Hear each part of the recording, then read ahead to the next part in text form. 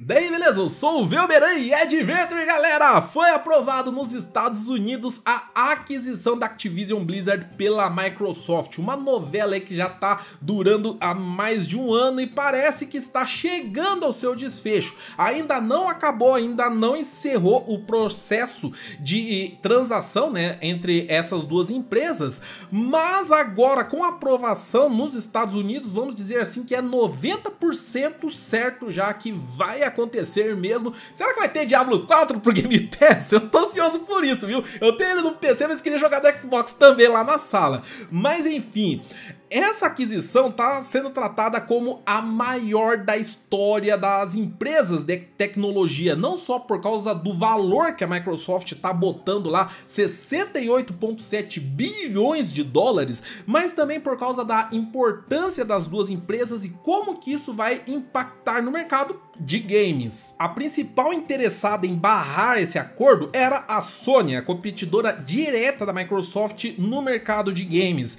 e eles realmente fizeram de tudo para azedar o rolê, porque sabia que as coisas iam ficar meio séria para eles, que hoje é a número um no mercado de games. Essa posição aí pode até ficar abalada no futuro, graças a essa aquisição da Microsoft. E, inclusive, eu falei muito desse caso aí no, nesses últimos meses, aqui no canal fiz vários vídeos acompanhando as notícias, falando outras coisas. Eu essa compra desde que ela foi anunciada, né? Quando ela foi anunciada foi uma surpresa do caramba, mas eu vejo que aí nos comentários tem muitos de vocês que não aprovam, né, que a Microsoft compre a Activision Blizzard e até tem alguns preocupados que a Microsoft possa querer monopolizar o mercado de games. Não que eu seja ingênuo a ponto de acreditar que a Microsoft não iria querer monopolizar o mercado de games se eles tivessem a chance, só não creio que isso vá acontecer e essa opinião também também é, é, a da juíza que cuidou do caso. É isso aí, a FTC, que é a comissão que cuida desse tipo de transações lá nos Estados Unidos, que levou o caso à corte e a juíza então negou o pedido de bloqueio que a FTC fez. Então o caminho tá quase todo liberado para a Microsoft adquirir a Activision Blizzard. O que tá faltando agora é o Reino Unido, e lá a comissão deles realmente bloqueou. A Microsoft está tentando apelar, mas tem alguns lances aí que estão rolando, né? Depois da decisão dos Estados Unidos, que provavelmente vai dar certo lá também, beleza? Mas vamos por partes, começando aqui então pela decisão da juíza. Eu vou passar aqui ah, o compilado, né? Que ela falou um monte de coisa. A Eurogamer fez um compilado de algumas citações dela aqui da razão para ela liberar aquisição da Activision Blizzard pela Microsoft. Então as palavras da juíza Jacqueline Scott Corley. Não há documentos internos, e-mails ou bate-papos que contradigam a intenção declarada da Microsoft de não tornar Call of Duty exclusivo para consoles Xbox. O maior ponto aí dessa aquisição foi a franquia Call of Duty, que é a franquia de tiro em primeira pessoa mais vendida do mundo e uma das franquias mais vendidas também. E só isso daí já era ponto suficiente para Sony arrepiar o cabelo, né? Ficar de cabelo em pé com essa história. O que a Microsoft disse é que queria colocar o Call of Duty no Game Pass, beleza? Isso daí foi a declaração inicial deles.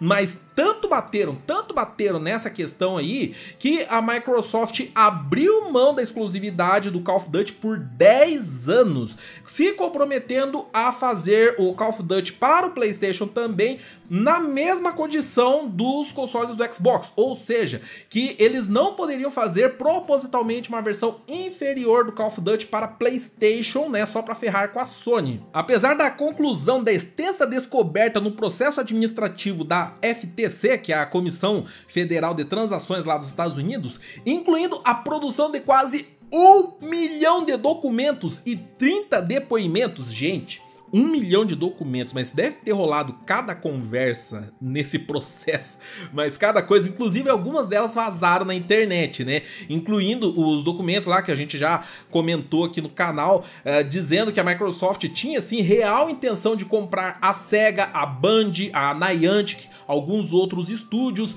também é, picuinha entre a Xbox e a Sony, várias, várias coisas chegaram a cair na internet, beleza? Mas foram um milhão de documentos, 30 depoimentos, muito conteúdo que se isso daí for caindo na internet vai ser aí umas fofoca bem interessante, viu? Vamos lá a FTC não identificou um único documento que contradiga o compromisso declarado publicamente da Microsoft de disponibilizar Call of Duty no PlayStation e Nintendo Switch.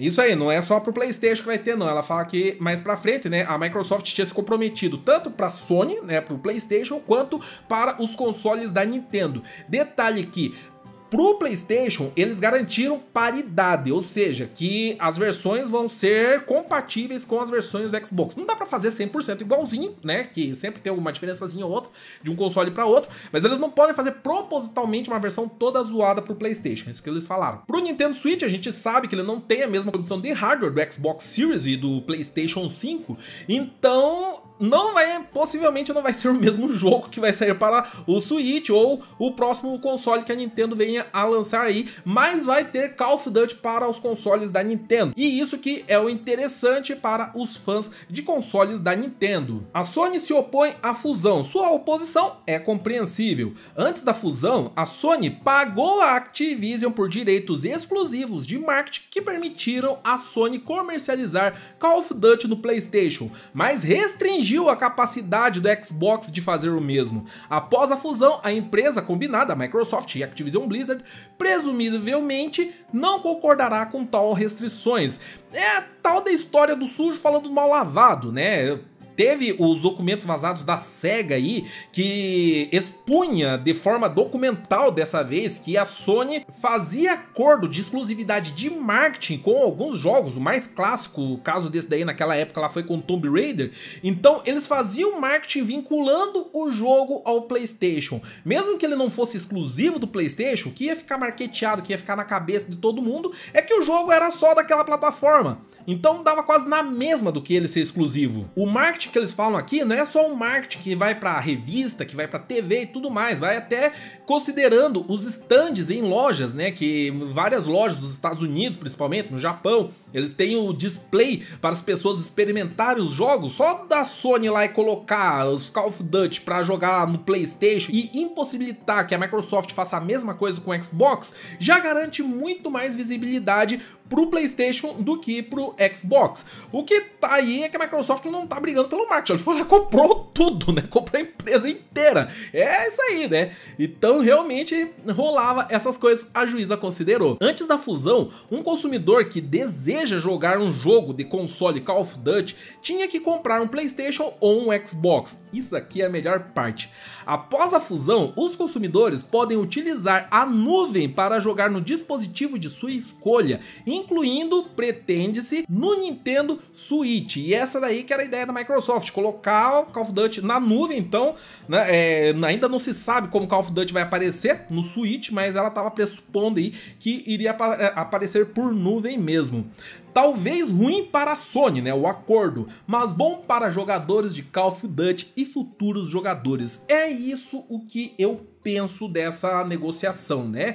Que eu, faço um vídeo falando aí de alguma coisa da Microsoft, daí o pessoal vem falar que eu sou sonista, aí eu faço um vídeo falando do negócio da Sony, daí vem gente falando de que eu sou cachista, às vezes falam alguma coisa da Nintendo, aí falam que eu sou viúva da SEGA, essas coisas. O que eu gosto é de videogame, independente se tá na Sony, na Microsoft, na Nintendo, o que eu quero é jogar e quero que vocês joguem bastante também, gastando o mínimo possível. Se vai aparecer esses jogos num serviço em nuvem que dispensa a compra de um console e que você possa jogar jogo lançamento no dia 1 pagando uma assinatura lá, eu acho isso daí um acordo muito bom. Eu tô torcendo, eu tô sonhando para que Diablo 4 caia no Game Pass. Eu já tenho Diablo 4 aqui no meu PC, eu já tô jogando Diablo 4 no meu PC. Só que se ele cair no Game Pass, muito mais gente vai poder jogar pagando bem menos. Diablo 4 tá custando 350 reais. Não é todo mundo que tem 350 reais pra pá, meter no jogo lá na hora e comprar. E às vezes a pessoa não tem um computador bom o suficiente para rodar ele ou um console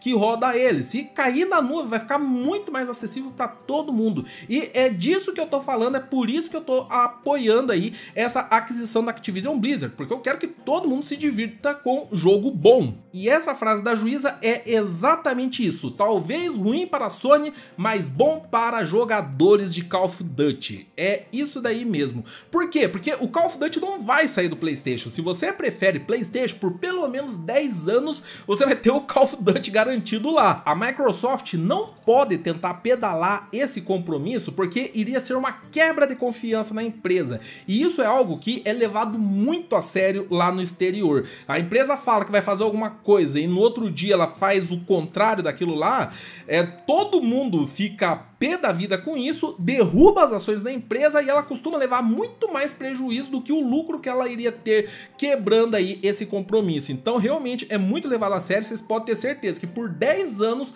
Call of Duty vai estar saindo pro Playstation. É tempo mais do que suficiente para a Sony tentar reverter né, esse prejuízo aí e tentar farmar em cima de alguma franquia dela. Ela tem pelo menos três franquias de tiro em primeira pessoa que simplesmente tá lá no limbo, né? Não tá recebendo jogo novo. Socom Killzone e Resistance. Esse terceiro aí é o que eu gostei mais. E ainda tem o Destiny, que não é exatamente dessa categoria, só que eles compraram a Band, que era a produtora do Halo. Então a Sony tem carta na manga para tentar aí meter alguma franquia exclusiva só dela para competir com o Call of Duty. Ela continua falando sobre o mercado de jogos em nuvem, que também era a pauta principalmente da CMA, a comissão lá do Reino Unido, e foi por causa disso que eles bloquearam lá no Reino Unido a aquisição. Só que ela entendeu que essa aquisição, na verdade, ela vai aumentar o mercado de jogos em nuvem e atiçar a competitividade, e não monopolizar isso para o lado do Game Pass.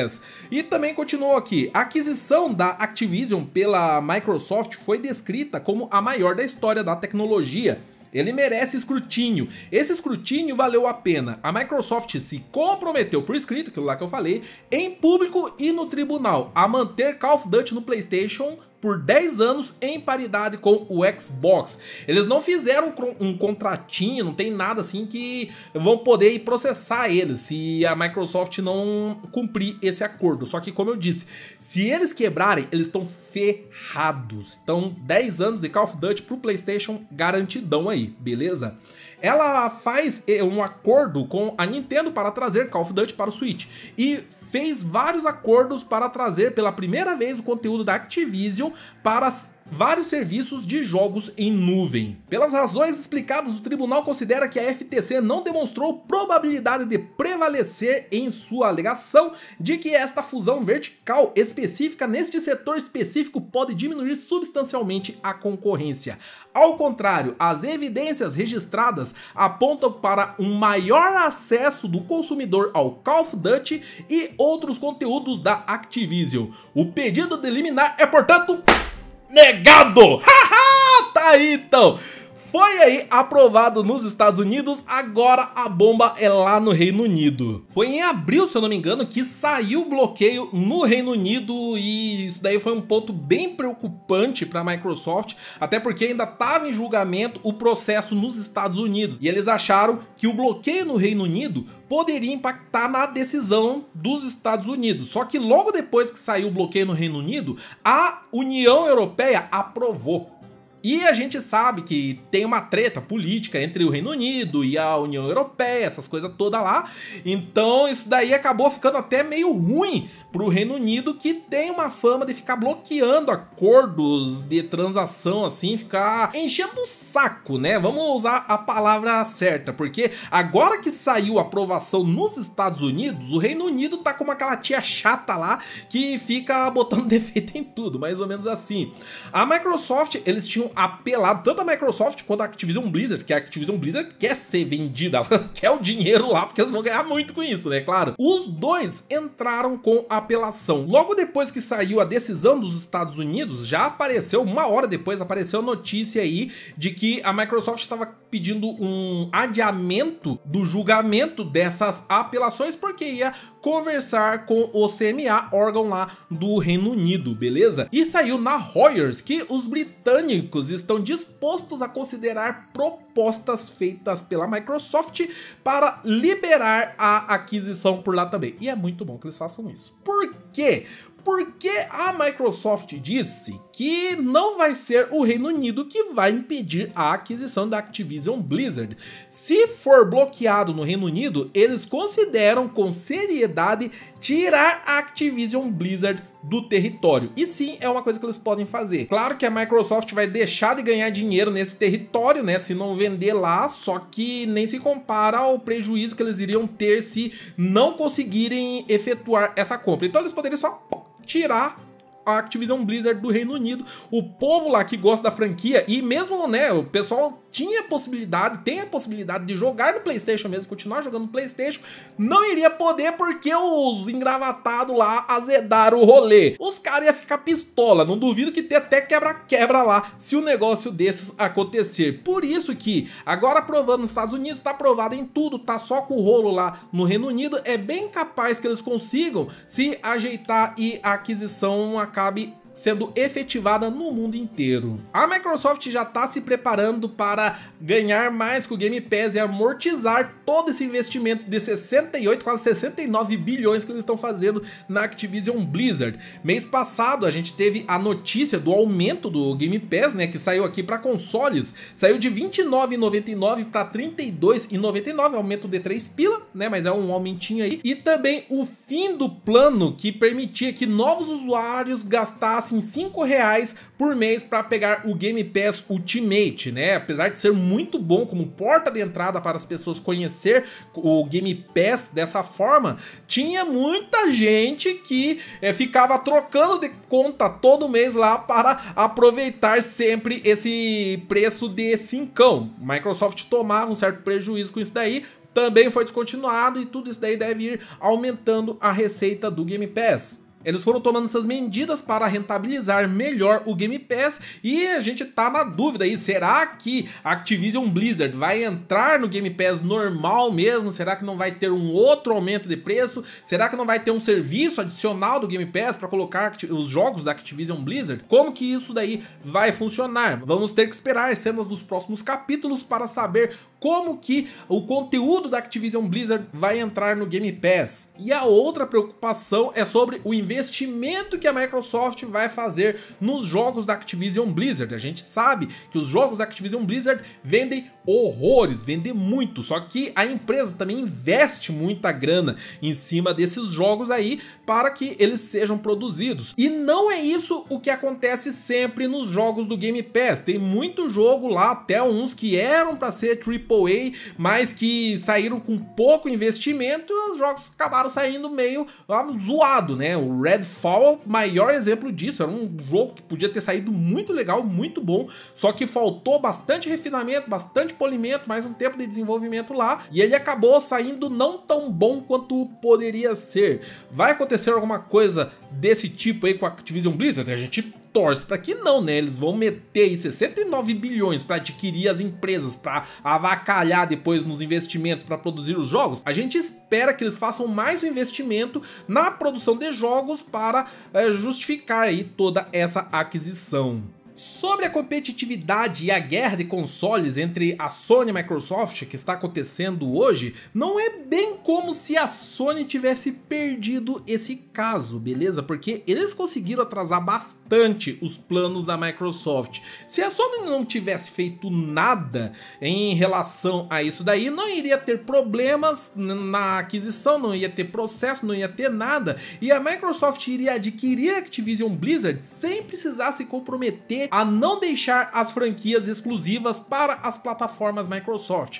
Como a Sony encheu o saco pra caramba aí nesse processo, eles garantiram pelo menos o Call of Duty, que era o filé mignon dessa aquisição aí, pelo menos isso vai continuar nas plataformas da Sony por pelo menos 10 anos. Isso eu considero praticamente uma vitória para a Sony, viu? Não só porque eles não vão perder uma das mais importantes franquias third party atualmente só que também porque eles conseguiram depreciar a aquisição da Microsoft, que eles estão gastando lá quase 69 bilhões para comprar a empresa e vão continuar produzindo o jogo para a Sony. Então, né, eu acho que para a Sony, que não investiu nada exceto os advogados lá, foi até que lucro. Espero que vocês tenham gostado do vídeo, deixa um comentário para nós falando o que, que vocês estão achando dessa história toda, principalmente dos comentários da juíza que negou o pedido de bloqueio da aquisição da Activision Blizzard. Eu vou ficando por aqui e nos vemos no próximo vídeo.